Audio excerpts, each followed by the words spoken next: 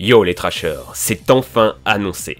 Pokémon Z verra le jour avec de toutes nouvelles formes pour nos Pokémon favoris. Zygarde en possède maintenant 4. 1% sous forme cellulaire, 10% qui ressemble à un chien, 50% qu'on connaît et 100%. Il devient alors un colosse de près de 5 mètres de haut pour 610 kg de type dragon, roche et dieu de l'ordre. Avec Xerneas création et Yveltal destruction, le trio est enfin complet. Mais avec tout ça, on imagine bien de nombreuses autres surprises.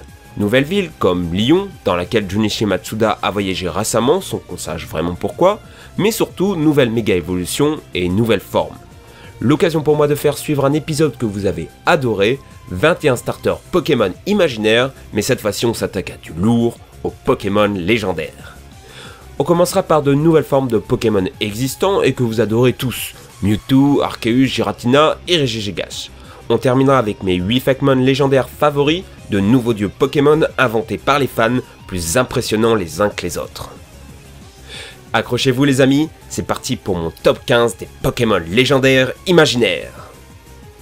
On commence avec le dieu des Pokémon, Arceus et 5 très belles formes faites par les fans.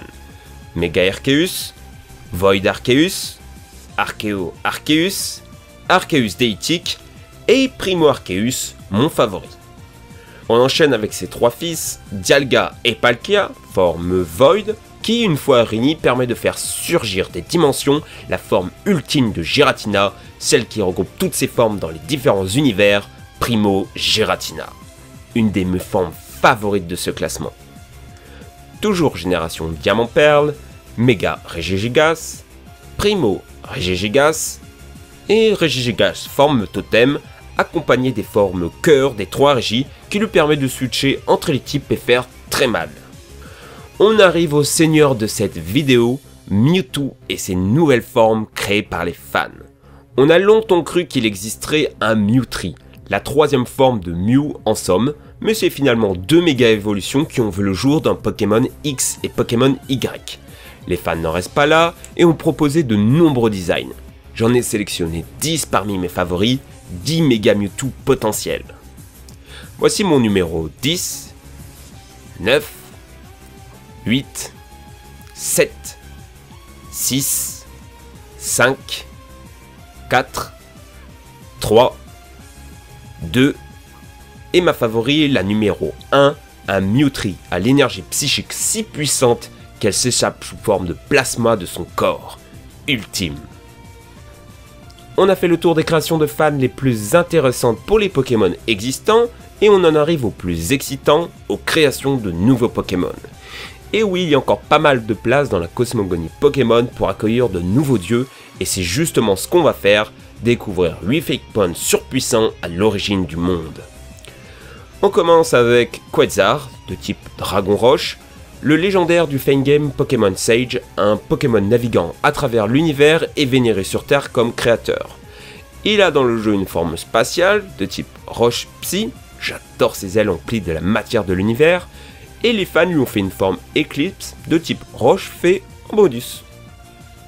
En deux, Chikainu, de type Spectre Roche. Il protège les temples sacrés des esprits maléfiques. Il a une nature fière et ne tourne jamais le dos à l'adversaire. Très beau style graphique sous forme d'estampes. Ça me rappelle le jeu Okami. En 3, Urgo, un Pokémon fée légendaire de type normal fée. D'abord sculpté par les hommes, Arceus la trouva si belle qu'il décida de lui donner vie et d'en faire sa fille. Rien que ça, il a vraiment la classe. En 4, en 5 et en 6, Deliakoros et Atastros, deux légendaires rivaux. L'un dieu du monde spirituel, l'autre du monde physique, l'un apporte sérénité, l'autre anarchie. C'est de leur combat que jaillit l'univers tel qu'on le connaît. Pour compléter le trio, Follens de type Face Psy il navigue à travers l'univers en nageant dans ses flux d'énergie. On dit qu'à son passage, des soleils s'allument et la vie jaillit des planètes. Enfin, en 8 et 9, Atlantar, de type spectre ténèbres, il est le dieu de la mort et des enfers, il guide les âmes des hommes et des Pokémon dans l'au-delà, choisissant pour eux la douleur ou le repos éternel. Sa carrure vaudou imposante et démoniaque en font un Pokémon théitique absolument génial. Son duo est Kylser, acier fée, Dieu de la vie et du jugement, il guide les âmes des hommes et des Pokémon les plus héroïques dans un univers où la vie est éternellement douce. Les humains qui dans les temps anciens l'ont aperçu ont été guéris de toutes leurs maladies. Et voilà les amis, c'est la fin de cet épisode sur 15 Pokémon légendaires créés par les fans. J'espère que ça vous plaît toujours autant de découvrir de nouvelles bestioles de l'imaginaire des fans.